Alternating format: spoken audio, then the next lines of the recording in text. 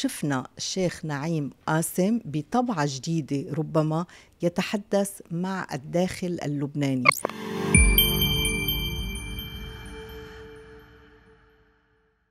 بإطلالته الأخيرة اللي تزامنت أو ربما هو كان بيريد أنها تتزامن مع المفاوضات الجارية لوقف إطلاق النار بين الموفد الأمريكي آموس هوكستين والرئيس نبيه بري المكلف من حزب الله بقيادة هذه المفاوضات كانت لافتة هذه الإطلالة للأمين العام لحزب الله الشيخ نعيم قاسم بسبب كذا شغلة يعني تناولها إن كان بالخطاب بحد ذاته أو بتحديده لما بعد الوقف إطلاق النار وما بعد الحرب. آه، بالخطاب بحد ذاته كان في آه، يعني حسينا أنه في تناقضات بداخل الخطاب وتناقضات مع السياسة الثابتة إذا جاز التعبير اللي تعودنا نسمعها من حزب الله.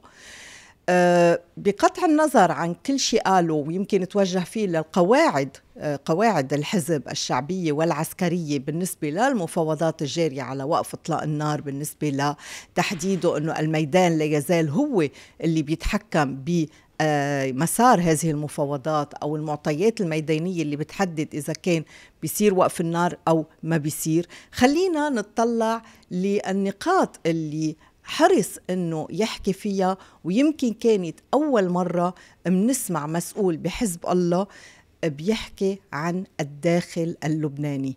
ما سمعنا بخطاب آه، نعيم قاسم آه، لاعب إقليمي مثل ما عودنا يمكن الأمين العام السابق آه، حسن نصر الله يحكي من موقعه كلاعب إقليمي على مستوى خريطة المنطقة شفنا الشيخ نعيم قاسم بطبعة جديدة ربما يتحدث مع الداخل اللبناني مع آه نقاط أو مع ثوابت مسلمات ما بعرف شو بدنا نسميها وإنما هي بالواقع مقاربات جديدة على الحزب وجديدة على الوسط اللبناني اللي معتاد من الحزب أنه يسمع هذا الكلام.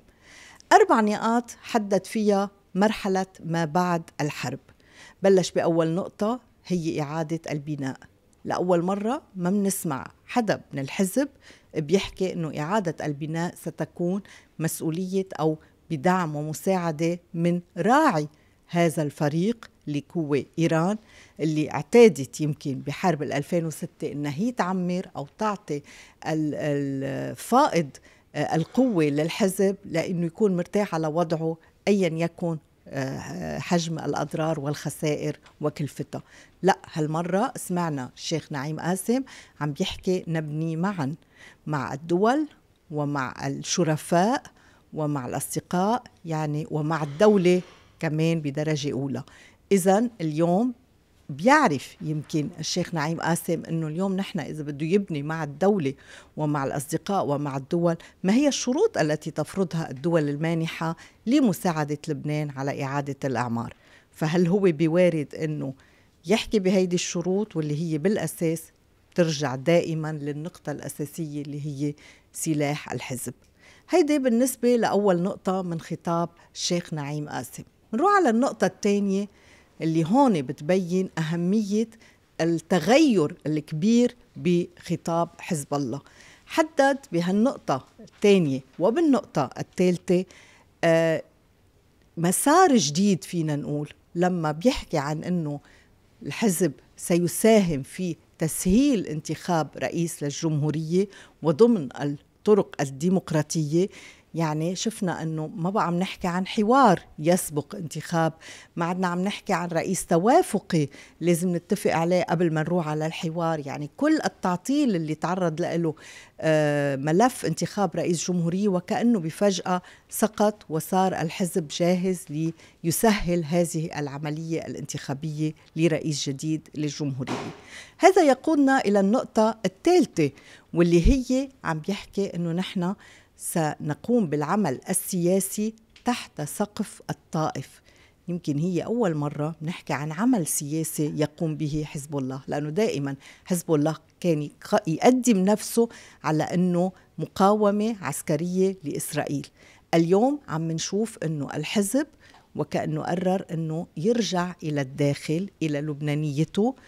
آه، من دون ما يسقط مسألة آه، مقاومة إسرائيل أو الثلاثية معادلة الثلاثية اللي قائمة على الجيش والشعب والمقاومة وإنما قرر أنه يمارس العمل السياسي الداخلي وتحت سقف الدستور. وهيدي يمكن من المرات القليلة اللي بنسمعها هالقد محددة وبهيدا الشكل أنه أراد حزب الله أو يريد من خلال هذا الكلام أن يعود إلى أن يقدم نفسه على أنه حزب سياسي في الدرجة الأولى. وليأكد لنا على هيدي النقطة بنروح على النقطة الرابعة اللي قال إنه نحن نستمد بعملنا السياسي من قوتنا من قاعدتنا السياسية والشعبية يعني القوة السياسية والشعبية. لم يتحدث عن السلاح لم يتحدث عن القوة العسكرية اللي هي كانت دائما الأداة الأساسية اللي بتحرك الحزب في الداخل أو بجبهته مع إسرائيل.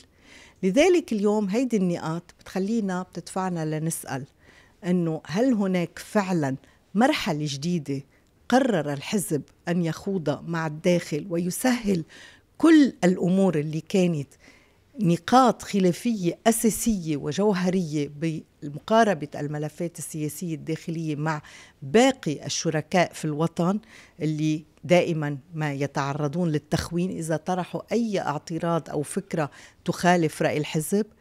هل هذا يعني أنه الحزب قرر أن يدخل إلى الساحة اللبنانية بمشهد الحزب السياسي؟ وماذا عن السلاح؟ هيدي أسئلة يمكن اليوم ما عنا عليها جواب وإنما أكيد الأيام المقبلة. يعني هو هيدا الجواب عمليا رهن بما ستكون عليه نتائج المفاوضات الجارية لوقف إطلاق النار.